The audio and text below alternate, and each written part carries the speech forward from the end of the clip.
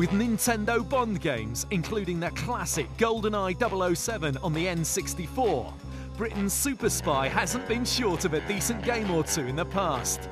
And now he's blasting back in Nightfire. The story sees criminal mastermind Raphael Drake intent on taking over the world. And as 007, you must head deep into enemy territory over 10 levels to stop his dastardly plan. Missions take place from the Austrian Alps to an orbiting space station. But to help Bond, there are a huge variety of guns, Q-Lab gadgets, and some high-speed motors to burn.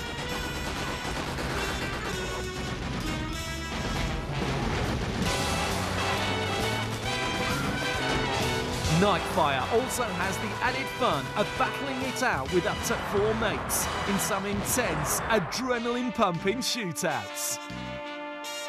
James Bond 007 Nightfire.